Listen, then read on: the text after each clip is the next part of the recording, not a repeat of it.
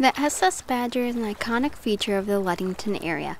It represents the rich history of the Ludington port and that of Mason County. The Badger can carry 600 passengers and 180 vehicles at a time. The ship stands at 410 feet long and with a height of 106 feet, it dwarfs the harbor light as it passes by. The SS Badger and its sister ship, the SS Spartan, were launched in 1952 and 1953.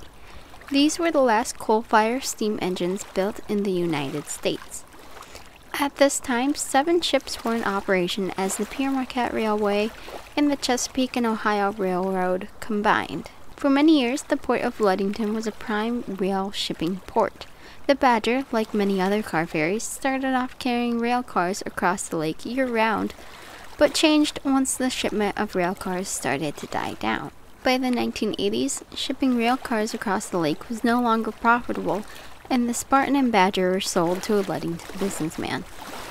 The Chesapeake and Ohio Railroad later ceased operations after the sale in 1987. The ships were put back into operation for the Michigan Wisconsin Transportation Company for 10 years, until it was again not profitable and the company shut down. The ship was then sold again in 1992 to Charles Conrad, who created the Lake Michigan car ferry service for both passenger and vehicle travel. The Spartan was taken out of service and used for parts to repair the Badger. The Badger changed from carrying rail cars to passengers and vehicles. While it was a big change, it quickly became a popular feature of the Ludington area.